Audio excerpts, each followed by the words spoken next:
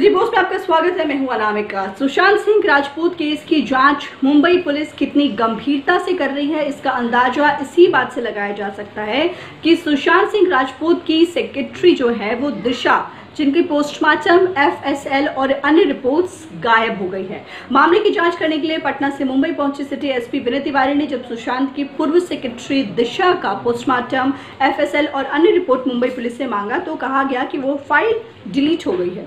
Patna police ने सुशांत और दिशा की सुसाइड से जुड़े सारे डॉक्यूमेंट्स बैंड्रा और मालवनी पुलिस स्टेशन से मांगे हैं। इसके साथ ही पटना पुलिस ने सुशांत के साथ रहने वाले सिद्धार्थ पिठानी और दीपेश को भी नोटिस भेजा है।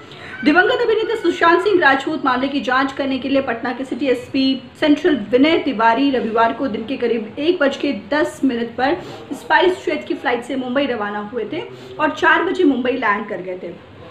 शनिवार की रात को सुशांत मामले की समीक्षा करने के बाद आला अधिकारियों ने आईपीएस विनय को मुंबई भेजने का फैसला लिया था। इस मामले की जाँच करने के लिए पहले से ही चार सदस्यीय टीम जो है, पुलिस की टीम वो मुंबई में है।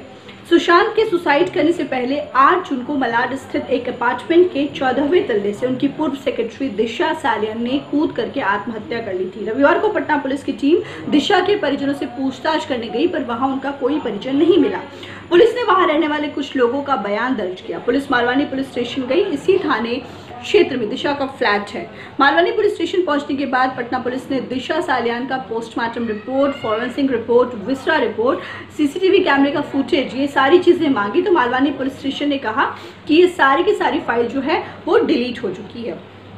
सूत्रों के अनुसार पटना पुलिस ने दिशा के सुसाइड से जुड़े सारे रिपोर्ट्स मांगे थे, लेकिन कहा गया कि सब डिलीट हो गए हैं। सुशांत और दिशा के सुसाइड से जुड़े सीसीटीवी फुटेज, जब्त सामान, मोबाइल और लैपटॉप का data, postmortem report, forensic report, fingerprint, case diary की कॉपी, किनसे किनसे पूछताछ हुई है, इनमें से मुंबई पुलिस ने कुछ भी पटना पुलिस को नहीं दिया है।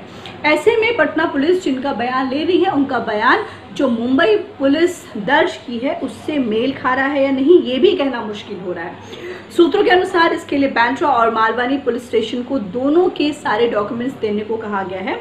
एसपी ने दोनों के सारे डॉक्यूमेंट्स के लिए मुंबई पुलिस से बातचीत कर इसे हासिल करने की कोशिश की। सुशांत के साथ रहने वाले सिद्धार्थ पिठानी और दीपेश को पटना पुलिस ने नोटिस भेजकर बयान दर्ज कराने को कहा है। पिठानी और सैमुअल मिरांडा के नाम पर सुशांत की गर्लफ्रेंड और इस मामले के मुख्य आरोपी रिया चक्रवर्ती ने सिम लेकर सुशांत को दे दिया था।